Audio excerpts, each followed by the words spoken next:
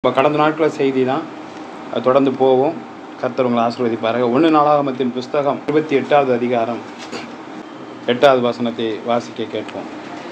இப்போதும் இப்போதும் நீங்கள் நீங்கள் என்றென்றைக்கும் என்றென்று என்றைக்கும் இல்லை என்றென்றைக்கும் எந்த நாளாக இருந்தாலும் இந்த நல்ல தேசத்தை நீங்கள் இப்பொழுது சந்தோஷமாய் வாழ்ந்து கொண்டிருக்கிற உங்கள் குடும்பத்தை சுதந்திரமாய் அனுபவித்து சுதந்திரமாய் சந்தோஷமாய் வாழ்வதற்கு உங்களுக்கு பிறகு உங்களுக்கு பிறகும் அதை உங்கள் பிள்ளைகளுக்கு அதே சுதந்திரத்தோடு அதே சந்தோஷத்தோடு உங்கள் பிள்ளைகளுக்கு சுதந்திரமாய் பின்வைக்கும் பொருட்டாக சந்தோஷமாய் வாழும் பொருட்டாக நீங்கள் நீங்கள் உங்கள் தேவனாகிய கர்த்தரின் கற்பனைகளை எல்லாம் உங்கள் தேவன் கொடுக்கிற ஆண்டவராகிய இயேசு கிறிஸ்துவின் சத்திய வார்த்தைகளாகிய வசனத்தை கை கொண்டு அதை தொடர்ந்து படித்து அதன்படி நடந்து விசாரியுங்கள் என்று அதை விசாரித்து கேட்டு அறியுங்கள் என்று கர்த்தரின் சபையாகிய கர்த்தரின் சபையிலே உட்கார்ந்திருக்கிற உங்களுக்கு இஸ்ரவேல் அனைத்தின் கண்களுக்கு முன்பாகவும் இஸ்ரவேலாகிய உங்கள் கண்களுக்கு எல்லாருக்கும் முன்பாகவும் நமது தேவனுடைய செவி கேட்கவும் நம்முடைய ஆண்டவராய் இயேசு கிறிஸ்து பரலோகத்திலிருந்து கேட்டு அறியவும் உங்களுக்கு புத்தி சொல்கிறேன். உங்களுக்கு அதை நான் சாஷ்டாங்கமாய் அறிவிக்கிறேன். அலிலூயா அலிலூயா கத்துடைய பரிசுத்த நாமத்துக்கு சோத்திரம் நான் கொஞ்சம் முன்னாடி சொன்னேன். என்னுடைய ஆவி மனுஷனோட என்ன பண்ணுறதில்ல போராடுறதில்ல. அவங்க மாமிஷம் தானே. அதனால் நூற்றி இருபது வயசு வரைக்கும் என்ன பண்ணுங்கள் சந்தோஷமாக வாழ்ந்துட்டு போங்க. விலகினன்றது நம்மளுக்கு இல்லவே. இல்லை நோய்ங்கிறது இல்லவே.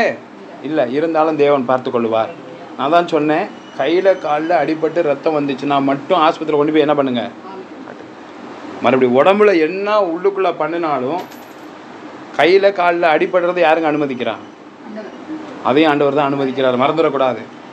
நீ எந்த அளவினால் அளக்கிறீர்களோ அந்த அளவினால் உங்களுக்கு அளக்கப்படும். நீ எப்படி நடந்துக்கிறியோ அதை வச்சு தான் உனக்கு நோய். அது யாராக இருந்தாலும் சரி. இல்லையே எனக்கு ரொம்ப நாளாக இது பண்ணுது. இல்லை ரொம்ப நாளாக எனக்கு இதை பண்ணுது. ரொம்ப நாளாக இதை பண்ணுதுனால அது ஆண்டவர் தான் அனுமதித்திருக்கிறார். அப்படி இருக்கும்போது அது அவரே சுகப்படுத்துவார். அடிபடுறதும் நம்ம காயப்படுறதும் ரோட்டில் போகும்போது ஆக்சிடென்ட் ஆகுறதும் அதையும் ஆண்டவர் தான் என்ன பண்ணுறாரு அனுமதிக்கிறார். நம்ம நூறு வயசு நூற்றி இருபது வயசு வரைக்கும் வாழணும்னு அவர் விரும்புகிறார் அப்படி இருக்கும்போது நம்மளுக்கு வர்ற சங்கடங்கள் உடம்புக்குள்ளே ஏதோ ஒரு திடீர்னு ஒரு வயிற்று வலி வருது. திடீர்னு ஒரு தலைவலி வருது. திடீர்னு ஒரு கால் வலி வருது. திடீர்னு ஒரு பல்லு வலி வருதுன்னா கர்த்தர் என்ன பண்ணுவார்? சுகப்படுத்துவார். சில டாக்டர்கிட்ட போய் நம்ம காமிப்போம் டாக்டர்கிட்ட காமிச்சதுக்கப்புறம் பார்த்தீங்கன்னா டாக்டர் சொல்லுவாங்க எல்லா மருந்து கொடுத்தாச்சுங்க. இனிமேலுக்கு உங்களை ஒன்றுமே பண்ண முடியாது. ஒன்றுமே பண்ண முடியாது. ஹலே லூயா தேவநாமத்துக்கு மகிமை உண்டாண்டு சுவைக்கிறேன் ஒன்றுமே பண்ண முடியாதுங்கிறத கூட ஆண்டவர் என்ன பண்ணிடுவாருங்க? சரி பண்ணுவார். அப்போ யாருக்கிட்டங்க இருக்குது பிரச்சனை? அலையிலே சொல்லுவோமா? அலையிலே சொல்லுவோமா? இப்போது உங்களுக்கு பிரச்சனைக்கு ஒரு மூலாதார காரணம் என்ன அப்படிங்கிறத நம்ம பார்ப்போம். எதனால பிரச்சனை வருது? தாவீதுன்னு ஒரு ராஜா இருந்தார். யாருங்க இருந்தா? தாவீதுன்னு ஒரு ராஜா இருந்தார். அவர் வந்து சவுல்னு ஒரு ராஜா இருந்தார். முத முதன்னு இந்த உலகத்தில் ராஜான்னு வந்தது யாருங்க? சவுல்னு சொல்லிட்டு ஒரு ராஜா ஏற்படுத்தினார் ஆண்டவர். அவர் தான் முதல் ராஜா. இந்த உலகத்துக்கே இஸ்ரேல் தேசத்தில் ராஜாவாக்குனார் சவுலை. அவர் ராஜாவானதுக்கு அப்புறமேட்டுக்கு நம்மளுக்கு ஒரு சந்தோஷம் பார்த்தீங்கன்னா நம்ம ஒரு ஒரு குறிக்கோளில் இருப்போம். இது கிடைக்கணும். எல்லாமே சொல்லுவாங்க நான் ஒரு வீடு கட்டிட்டேன்னு வச்சுக்கோ. அதுக்கப்புறம் எனக்கு எந்த கவலையும் இல்லை. என் பிள்ளை என் பொண்ணுக்கு மட்டும் ஒரு நல்ல மாப்பிள்ளை கிடச்சிருச்சு. அதுக்கப்புறம் எனக்கு எந்த கவலையும் இல்லை. சுவாமியலுங்கிற ஒரு தீர்க்க தரிசி என்ன மாதிரி ஒரு அப்பாவி ஒரு இளிச்சவாய் என்ன பண்ணார்? எல்லாத்துக்கும் நல்லது செஞ்சு நியாயம் விசாரித்தார் இஸ்ரேல் தேசத்துக்கெல்லாம். அவருக்கு வயசாயிடுச்சு. அவருக்கு வயசானதும் சரி இவருக்கு வயசாயிடுச்சு. இப்போ இந்த யார் நியாயம் விசாரிக்கிறேன்னா அவங்க பையனுக்கு ரெண்டு பேரும் சரியில்லை. அவங்க என்ன பண்ணிட்டாங்க? நியாயத்தை சரியாக விசாரிக்கிறது இல்லை என்ன பண்ணல? நியாயம். விசாரிக்கல. ஏற்றத்தாழ்வா ஒருத்தருக்கு ஒரு ஓர வஞ்சனையாக ஒருத்தருக்கு ஒரு சப்போர்ட்டாக பண்ணிக்கிட்டு இருந்தாங்க. அப்போ என்ன பண்ணாங்க? மக்கள்லாம் சேர்ந்து எங்களுக்கு ஒரு ராஜா வேணும் அப்படின்னு சொல்லி எல்லாரும் ஆண்டவர்கிட்ட கேட்டாங்க. அப்போ சாமியல் சொன்னார் எனக்கு வயசாயிட்டு இந்த நாட்டுக்கு ஒரு ராஜா கேட்குறாங்க ஒரு ராஜா கொடுங்கன்னதும் அன்னைக்கு பென்யமின் கோத்திரத்தில் பிறந்த பன்னிரெண்டு கோத்திரம் எத்தனை கோத்திரம்? கடைசி கோத்திரம் பென்யமின் கோத்திரம். பென்யமின் கோத்திரத்தில் பிறந்த சவுல் என்பவனை ராஜாவாக்கினார். ராஜாவானதுமே அது வரைக்கும் அவன் சாதாரண குடும்பத்தில் பிறந்தவன் தான். ராஜாவானது அவன் என்ன பண்ணிட்டான்? அவனை ராஜா வாக்குனது யாருங்க? ஆண்டவர் ராஜாவே மறந்துட்டான். உங்களுக்கு நான் சொல்கிறேன் நம்ம மத்தியில் அப்படி யாராச்சும் இருக்கீங்களா? என் பிள்ளைக்கு வேலை கிடச்சிருச்சு. என் பொண்ணுக்கு நல்ல மாப்பிள்ளை கிடச்சிருச்சு. எனக்கு நல்ல ஒரு வீடு கிடச்சிருச்சு. இது நிரந்தரம். இன்னொரு எனக்கு கவலையே இல்லை. அப்படின்னு இருக்கலாம் சந்தோஷம்தான். ஆனால் ஆண்டவர்கிட்ட தூரம் போவாத. எதை கொடுத்தாரோ? கர்த்தர் கொடுத்தார்? கர்த்தர் எடுத்தார் பத்து பிள்ளைங்களை கொடுத்துட்டு கிழக்கத்து புத்திரர்களே ஆசியா நாட்டிலேயே ஒரு பெரிய தெற்காசியா நாட்டிலேயே ஒரு பெரிய பணக்காரன் கோடீஸ்வரன். அவன் என்ன பண்ணிட்டான்? பிள்ளைங்க இருக்கிற சந்தோஷத்தை தான் பார்த்தனாலே ஆண்டவரை பார்க்கல. பத்து பிள்ளைங்க இருக்குங்க. மூணு பொண்ணு ஏழு பையன். லட்சக்கணக்கில் ஆடு ஒட்டகம் மாடு பால் கறக்கிற மாடு கோவேரி கழுதை தோட்டம் துறவுன்னு இருக்குது கொடுத்தது யாருங்க? ஆண்டவர். யாரை மறந்துட்டான்? ஆண்டவரை மறந்துட்டான். பிள்ளைங்க பிள்ளைங்க பிள்ளைங்க பிள்ளைங்க பிள்ளைங்கன்றான் இருந்தான். ஒரு நாள் என்ன பண்ணார்? ஆண்டவர் எங்கே ஆரம்பித்தாரோ அங்கேயே முடிச்சு வச்சுட்டார். எல்லா ஒட்டகத்தையும் ஒரு நாள் கொன்னார். எல்லா மாட்டையும் ஒரு நாள் சாவடிச்சார். எல்லா ஆடுகளையும் கொன்னாரு. பத்து பிள்ளைங்களையும் கொண்டு போட்டார். ஏன்னா நீ தான் மறந்துட்டிய ஆண்டவர். பத்து பிள்ளைங்களையும் கொண்டு போட்டார். பொண்டாட்டி பார்த்தா நல்லா தெரிஞ்சுக்கோ. புருஷன் என்றைக்கும் பொண்டாட்டி விட்டு ஓடியே போக மாட்டான். பொண்டாட்டி ஓடி போயிடுவான் பைபிள் படி சொல்கிறேன் உங்களை தப்பாக சொல்ல அவள் பார்த்தா ஐயையோ இவன் கூட இருந்தா நம்மளுக்கு சாப்பாடு கிடைக்காது இவன்ட்டு எல்லாம் போயிடுச்சு. நம்ம ஏதாச்சும் ஒரு வேற பொழப்ப பார்ப்போன்னு ஓடிட்டான். அப்போ கேட்டா நீ இந்த சாமியை இன்னும் கும்பிட்டுக்கிட்டு இருக்கியே? நீ பேசாமல் செத்து தொலை. நான் போகிறேன் எங்காச்சும் ஓடி போயிட்டான் அப்போ அவன் சொன்னான் கர்த்தர் கொடுத்தார் கர்த்தர் எடுத்தார் கர்த்தருக்கு ஸ்தோத்திரம். இவன் ஒழுங்காக இருந்திருந்தாருன்னா கர்த்தர் திரும்ப எல்லாத்தையும் என்ன பண்ண மாட்டாருங்க? எடுக்க மாட்டார். இவன் ஒழுங்காக இல்லை பிள்ளைங்க பிள்ளைங்க பிள்ளைங்கன்னு ஆண்டவரை மறந்துட்டான் எல்லாத்தையும் பிடிக்கிட்டு விட்டார். பிள்ளைங்களையும் கண்டிக்கிறது இல்லை அதுதான் முக்கியம். பிள்ளைங்களை என்ன பண்ணுறதில்ல பத்து பிள்ளைங்க இருக்கு அதான் சொத்து இவ்வளவு இருக்க எவ்வளோ அழிச்சாலும் பரவாயில்ல. பிள்ளைங்களை கண்டிக்காமல் ஒரு தாய் தப்பம் வளர்த்தியன்னா உனக்கு தான் கேடு. சொன்னால் சொன்ன மாதிரி கேட்கணும். போ வேணானா போ வேணாம். போன்னா போ. உக்காருனா உக்காரு இருனா இரு. நீ ஒரே ஒரு வார்த்தை சொல்லி பாரு. வீட்டை விட்டு வெளில போ. வீட்டை விட்டு வெளியில் போனால் எங்கேயும் போக முடியாது. ஒரு வேளை சோறு கூட கிடைக்காது. கத்தருக்கு சோத்துரும். எல்லாத்தையும் பிடிக்கிட்டு ஆண்டவர் விட்டார். தரையோட தரமட்டமாக போயிடுச்சு பொண்டாட்டி ஓடி போனதுக்கப்புறம் இவன் ரோட்டில் உட்காந்துருந்தான் அப்போ தான் உணர்றான். நம்ம ஆண்டவர் என்ன பண்ணோம்? மறந்து மறந்துட்டோம். இன்னைக்கு எல்லா சொத்தும் போயிருச்சே. அப்போ போய் எல்லாம் முடிஞ்சதுக்கப்புறம் போய் என்ன பண்ணுறான் ஆண்டவரை நினைக்கிறான். அதுக்கப்புறம் ஆண்டவர் வணங்கிக்கிட்டே இருக்கிறான். ஆண்டவர் இறக்கப்பட்டு அவனுக்கு எல்லாத்தையும் கொடுத்தார். மறுபடியும் மனைவியை கொடுத்தார். பத்து பிள்ளைகளை கொடுத்தார். அதே மாதிரி ஆடு ஓ ஆடு மாடு ஒட்டகம் எல்லாத்தையுமே ரெண்டு பங்கு கொடுத்தார். என்ன பண்ணிட்டான்? பிள்ளைங்களை கண்டிக்கவும் இல்லை எதுவும் பண்ணல. ரோட்டில் உட்காந்ததுக்கு அப்புறம் தான் அவனுக்கு வேதனை தெரியுது. நம்ம அப்பயே நம்ம பிள்ளைங்களை கண்டிச்சிருக்கலாம். நம்ம இந்த ஆண்டவனை மறந்துட்டுமே. பிள்ளைங்க பிள்ளைங்க பிள்ளைங்க பிள்ளைங்கன்னு போனோமே. இருந்த இடத்துல கொண்டாந்து நம்மளை விட்டாரு ஆண்டவர். இப்போ தெருவில் உட்காந்துருக்கோமே இதில் ஒரு பெரிய விஷயம் பார்த்தீங்கன்னா இவன் எல்லாம் வந்ததுக்கப்புறம் சொந்த பந்தம் பார்த்தீங்கன்னா ஒரு பத்தாயிரம் பேர் வந்துட்டான். இவன் என்ன காசு? நிறையா இருக்கு. போனால் மூணு வேளையும் சோறு இருக்குது இவன் இந்த மாதிரி ஆய் எல்லாம் போனது எல்லாம் தீர்ந்து போனதுக்கப்புறம் இவனை விட்டு எல்லாரும் ஓடிட்டான். பத்தினி பரிசுத்த நாமத்துக்கு சோத்தனம் இதுதாங்க மனுஷனுக்குள்ள வாழ்க்கை. இன்னைக்கு காசு இருக்கிறதுனால ஒரு வீட்டில் போய் என்ன பண்ணுறோம் உட்காந்துருக்குறோம் காசு இருக்கிறதுனால அவங்கள போற்றி புகழ்கிறோம் அவங்கள வந்து அப்படி ஆகா ஓகோங்கிறோம் அவங்கள்ட்ட காசு இல்லாமல் உங்கள்கிட்ட ரெண்டு நாள் மூணு நாள் தொடர்ந்து வந்து ஒரு பத்து ரூபா இருந்தால் கொடுங்க ஒரு அஞ்சு ரூபா இருந்தால் கொடுங்க ஒரு டீ குடிக்க காசு கட்ட என்ன பண்ணுவோம்? அங்கே பார்க்கும்போதே கதவை சத்திட்டு கொள்ள பக்கமாக ஓடி போயிடுவோம் அழிலூயா யார் யாரையும் பார்க்க மாட்டோம். ஆனால் தேவனை மட்டும் ஒரு நாள் நீ மறந்து போயிடாத. இந்த சவுல் ராஜாவானதுக்கப்புறம் என்ன பண்ணிட்டான்? ஆண்டவரை மறந்துட்டான். இஷ்டத்துக்கு அவன் பாட்டுக்கு எல்லா வேலையும் பார்க்க ஆரம்பித்தான் ஆண்டவர்கிட்ட ஒரு நல்ல பழக்கமும் என்ன இருக்குன்னு சொன்னால் ஆசாப் என்கிறவனுக்கு காலில் வியாதி வந்துருச்சு. ஆசாப்புக்கு என்ன வந்துருச்சு? காலில் வியாதி வந்துருச்சு. கர்த்தர் தான் கொடுத்தாரு அந்த வியாதியை. அந்த வியாதியை தேக்கணும்னு ஆண்டவர்கிட்ட கேட்கல. போய் எல்லா மருத்துவரையும் கூப்பிட்டு வந்தான். எல்லா மருத்துவரும் மருந்து வச்சு பார்த்தாங்க மருந்து கேட்கவே இல்லை. காலை முழங்காலோட கட் பண்ணி எடுத்துட்டாங்க. அந்த வசனம் முடியும் போது என்ன சொல்லுன்னா அவன் பரிகாரியை தேடாமல் மருத்துவர்களை தேடினான். அவன் மறித்து போனான். அல்லேலூயா அதே மாதிரி இவன் என்ன செய்கிறான் தாவி சவுலு யாரையுமே கண்டுக்கவே இல்லைங்க. அவன் வைக்கிறதான் சட்டம்.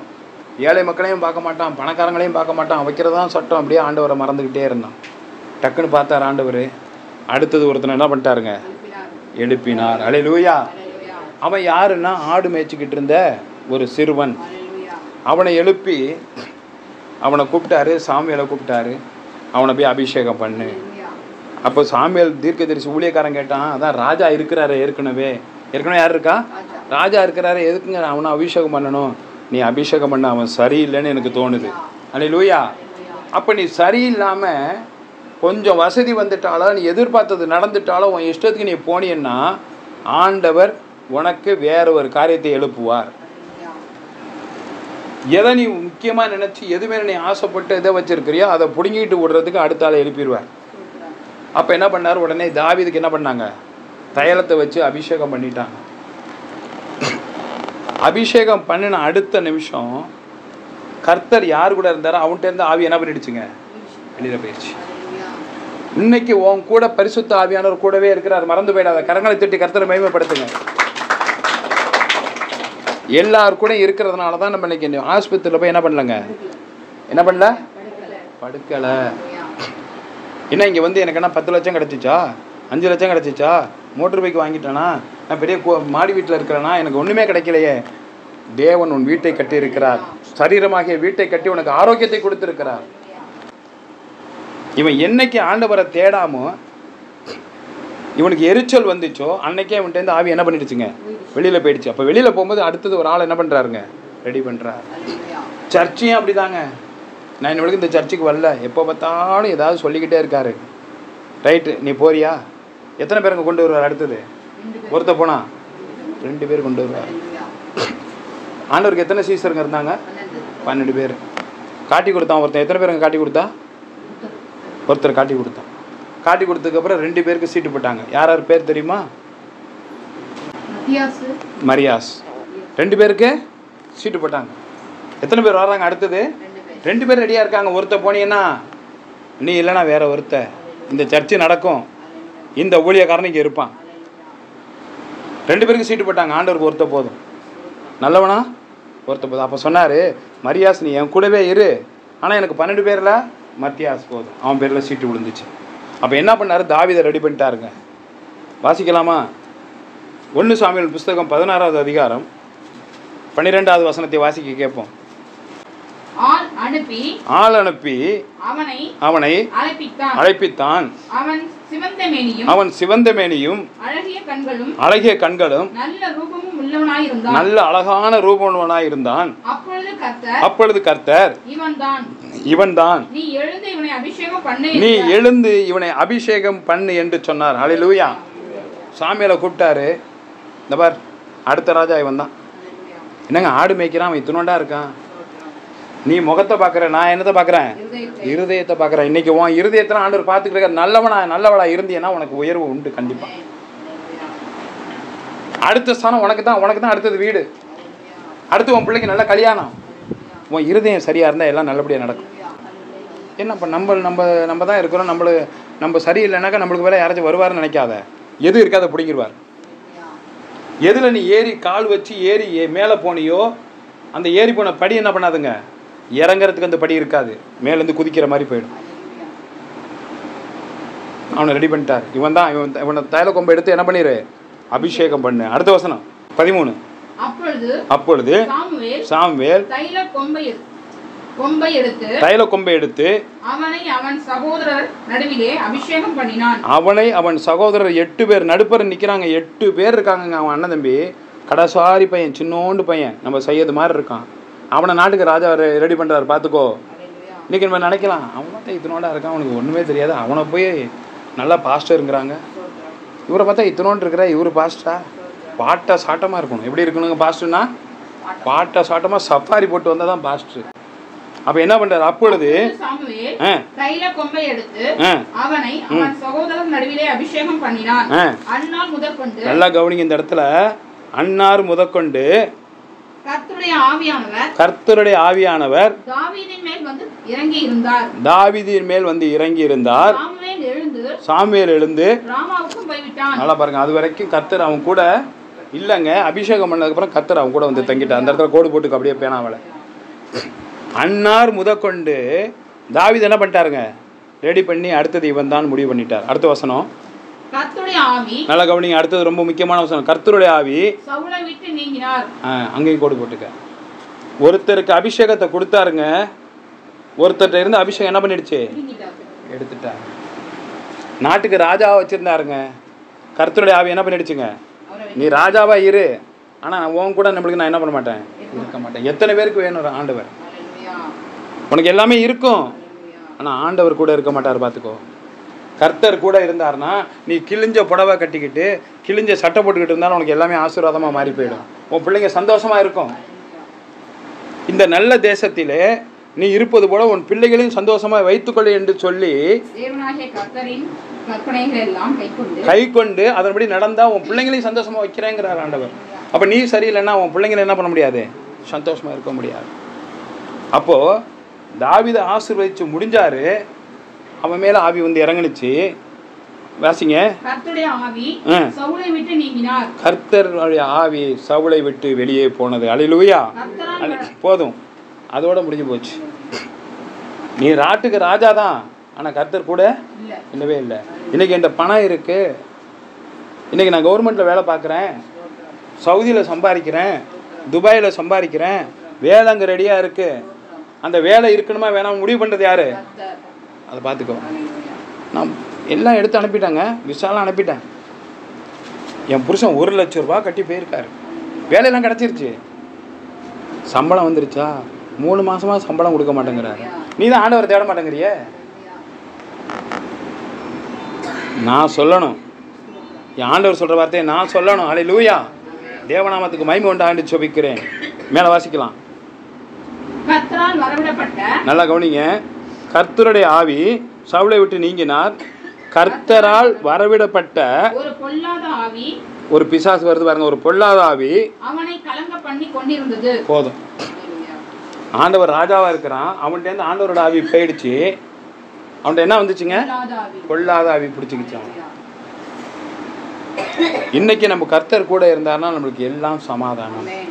எல்லாமே சந்தோஷம்.